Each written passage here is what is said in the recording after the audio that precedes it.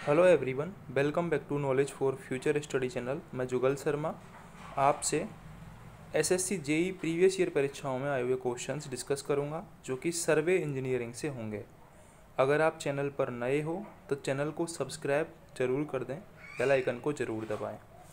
पहला क्वेश्चन है in an adjusted level when the bubble is centred the axis of the bubble tube becomes parallel to question पूछा है कि यदि bubble centre में है तो जो एक्सिस है बबल ट्यूब की, वो किसके पैरेलल हो जाएगी? वो हो जाएगी लाइन ऑफ़ साइट के पैरेलल लाइन ऑफ़ साइट के पैरेलल ठीक है? ए ऑप्शन करेक्ट हो जाएगा, यदि बबल सेंटर्ड है थियोडोलाइट का, ठीक है? अगला क्वेश्चन है the line normal to the plumb line is known as options हैं horizontal line datum line vertical line and level line correct answer है इसका लेवल लाइन जो प्लम्ब लाइन के जो नॉर्मल होती है लाइन वो लेवल लाइन होती है, ठीक है? अब आपके माइंड में आ रहा होगा कि प्लम्ब लाइन क्या होती है। Plumb line is the direction of the line of force of earth gravity जो अर्थ की ग्रेविटी होती है अर्थ ग्रेविटी उसकी डायरेक्शन में जो लाइन होती है, उसको बोलते हैं प्लम्ब लाइन और जो प्लम्ब लाइन के नॉर्मल होती है, उसको बोलते हैं लेवल लाइन ठीक है? प्लम्ब लाइन के जो नॉर्मल कर्ब लाइन होती है, उसको लेवल लाइन बोला जाता है। इसके अलावा हॉरिजॉन्टल लाइन क्या होती है? Horizontal line is a line always perpendicular to one considered plumb line it is tangent to level line यानी कि अगर ये लेवल लाइन है और लेवल लाइन पे अगर हम कोई टेंजेंट लाइन खींच देते हैं तो वो हो जाएगी हमारी हॉरिजॉन्टल लाइन ठीक है? लेवल लाइन पे यदि हम टेंजेंट खींचते हैं तो वो हॉरिजॉन्टल लाइन को शो करेगी।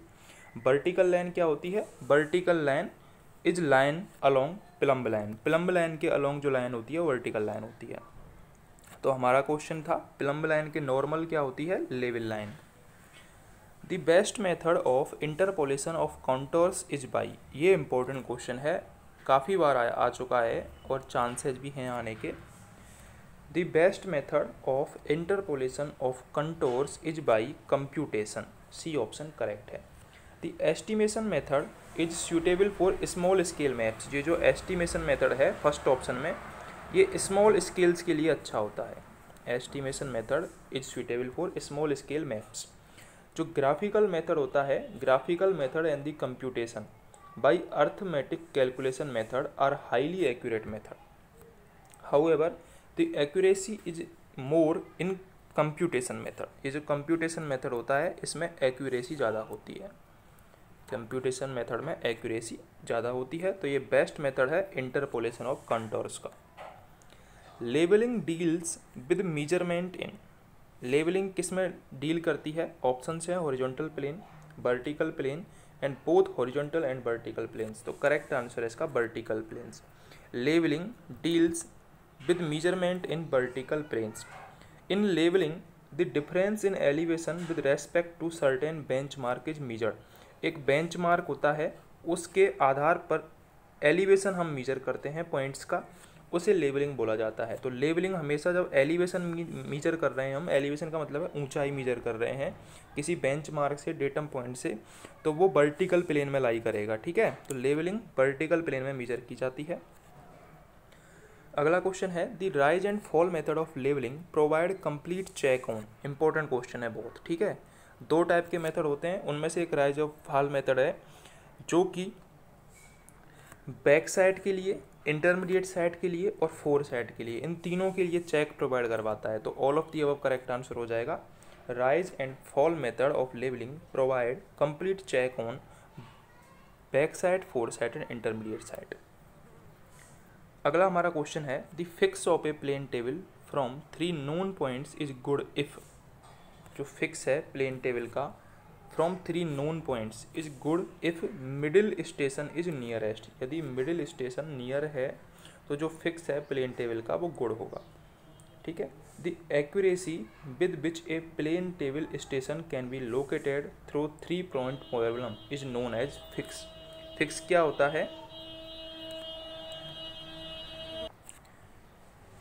तो फिक्स क्या होता है? Fix is the accuracy with which a plane table station can be located through three point problem जो थ्री पॉइंट प्रॉब्लम है, उसमें जो तीन वेल डिफाइंड पॉइंट्स होते हैं, उनसे प्लेन टेबल की जो स्टेशन की जो एक्यूरेसी है लोकेट करने की, वो होती है फिक्स फिक्स में जो मिडिल स्टेशन है, वो नियरेस्ट होना चाहिए. जो लोकेशन है स्टेशन की, वो इस टाइप से चूज़ की जाती है. जो तीन पॉइंट का जो ग्रेट ट्राइंगल बनता है, उसके बीच में हो स्टेशन ठीक है? तो इस टाइप से हम चूज़ करते हैं प्लेन टेबल स्टेशन को। अगला क्वेश्चन है in levelling operation the first sight on any change point is a back sight ये करेक्ट है बिल्कुल।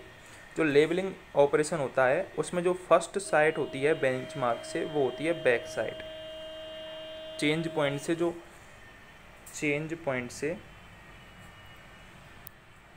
जो फ़र्स्ट साइट होती है, बैक साइट होती है, जो सेकंड साइट होती है, वो इंटरमीडिएट साइट होती है, ये आपको याद रखने वाले पॉइंट हैं, ठीक है? और जो लास्ट साइड होती है, वो फोर साइड होती है, ये हमेशा आपको याद रखना है। फ़र्स्ट साइड हमेशा बैक साइड होगी, लास्ट साइड हमेशा फोर साइड होगी, और इंटरमीडिएट साइड भी कैलकुलेट की जाती है सेकंड नंबर पे। The correction and elevation due to curvature and refraction is proportional to. जो कर्वेचर और रिफ्रैक्शन का जो करेक्शन होता है, वो होता है six by seven d square by two r six by seven d square by two r ये होता है कर्वेचर और रिफ्लेक्शन के कारण करेक्शन तो आपको दिख रहा होगा यहाँ से डी स्क्वायर बाई आर के प्रिपोर्शनल हो गया डी स्क्वायर बाई आर के प्रिपोर्शनल हो गया बी ऑप्शन करेक्ट है। The correction in elevation due to curvature and reflection is proportional to d square by r the correction for slope in chaining is proportional to जो correction for slope होता है, वो होता है h square by two l याद रखना है आपको। तो एच स्क्वायर के प्रपोर्शनल हो जाएगा C option which of the following methods of contouring is most suitable for hilly terrain तो करेक्ट आंसर है इसका टेकोमेट्रिक मेथड ठीक है?